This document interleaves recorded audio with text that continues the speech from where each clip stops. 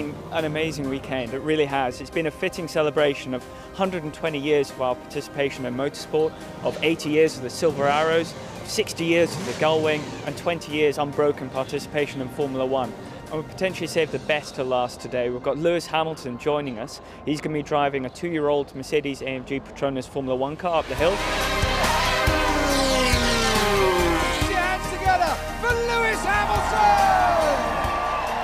We're talking about addicted to winning at Goodwood this weekend.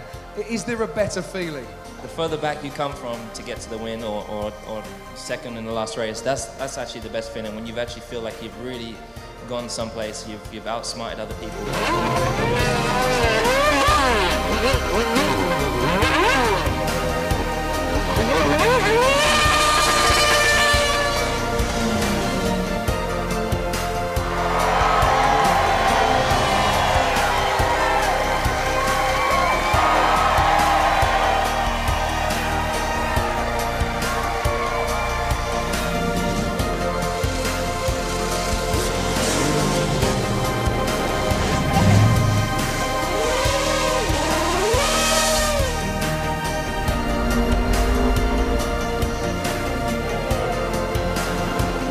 Base the whole event on a theme each year, and this year it's addicted to winning. So it's about the, the champions of motorsport who've been kind of always winning, almost besides themselves.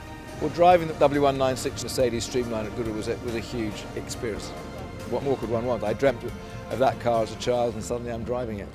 A major highlight for me certainly is, is, is always having the F1 teams here. It's fantastic they turn up. You know, get close to the fans. Such a big part of the whole, whole event is getting close to the cars and the drivers. And we're celebrating 120 years Mercedes-Benz in motorsport. To have just that white line kind of going over the sky and disappearing behind the house, it does a very good job of symbolising the brand. And obviously, you know, we're thrilled to have them involved, and they've been great partners for us for many, many years.